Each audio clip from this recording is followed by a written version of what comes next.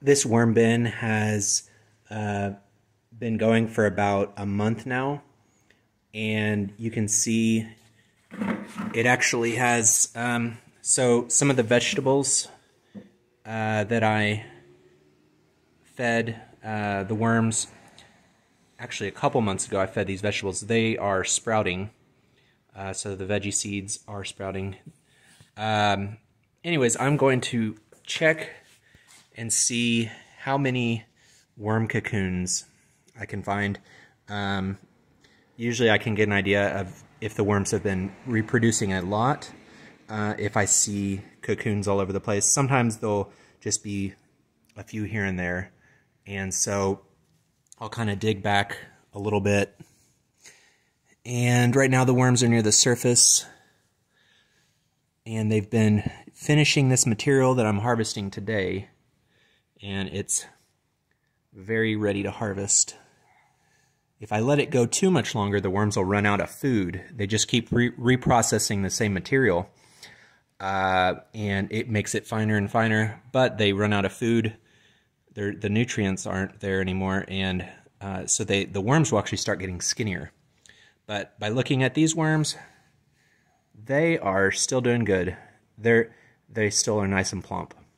Uh, so I know that they've been able to get the nutrition they need. They'll get a lot skinnier, skinnier when there's uh, no food in there. So I'm gonna just see how many worm cocoons I can find. Uh, digging down, okay, there's one. I'm gonna set these aside over here. Uh, there's two.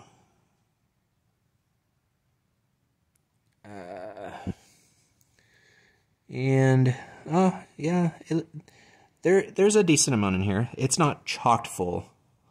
Um. All right, so three. Uh.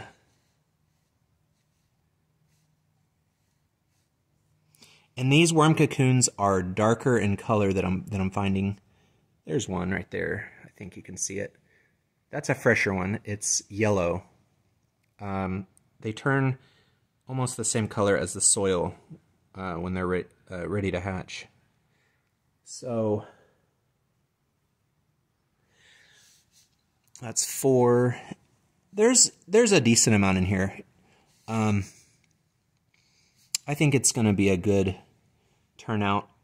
Um, each one of these little cocoons here, they can actually hatch between one and three baby worms.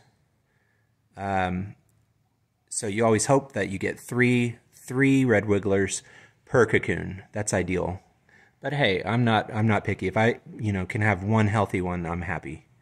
Um, so these aren't hatching yet. Um, I haven't seen any baby red wigglers going around in here uh, yet. I'm guessing April in May I'll start seeing baby worms and um, and then when they start hatching, it seems like they do it all at once, and you just see them all over the place.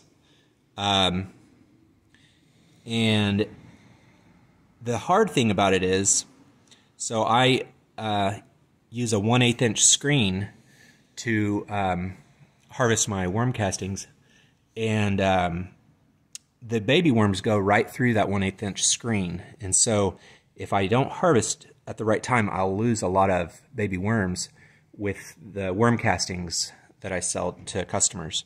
So I try to time it right so that the, the baby worms get bigger um, and big enough that they don't slide through the 1 8 inch screen. Um, so let's see if I can. There's those cocoons I found that didn't take me very long to find those, and there's more in there. So I'm pretty happy about that because uh, I did lose some worms during that hard freeze that we got. Um, I what what happened was the indoor uh, room that I use was not heated, and it got really really cold. Um, and I think the worms were trying to survive. Maybe they thought that that uh, they were about to die, and I had some escape. Uh, so, so I did lose. I probably lost a couple pounds of worms, maybe a thousand, fifteen hundred worms, maybe, uh, which is not too bad. Uh, sometimes they do that. Um, the nice thing about if you have uh, hard freezes, it will get rid of the competing species of worms that you don't want. Um, you don't really, if you, if you're doing uh, uh, vermicomposting with red wigglers like me, you don't really want blue worms or um, Alabama jumpers. Um, I've I've had both, and that's another healthy red wiggler. Um, I don't like either the blue worm or the Alabama jumper. Unfortunately, the they both can kind of look similar, especially when they're you know smaller and babies. They can look similar to the red wiggler. A lot of people get confused and don't even realize they have Alabama jumpers or blue worms, and then they get frustrated when all their worms die in their worm bin, and they sometimes think, "Man, I'm not that good at running a worm bin and doing some worm farming." Well, it may not have been your fault. You may have bought uh, blue worms or Alabama jumpers um, that were labeled as like red worms or red wigglers.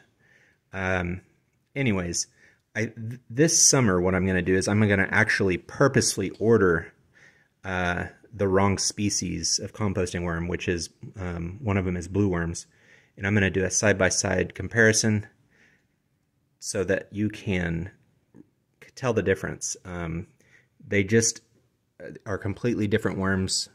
The red wiggler is one of the best composting worms, um, and it's just hard to match some of its it, uh, its qualities, especially how much it can handle the extreme colds and heats like we have in Oklahoma.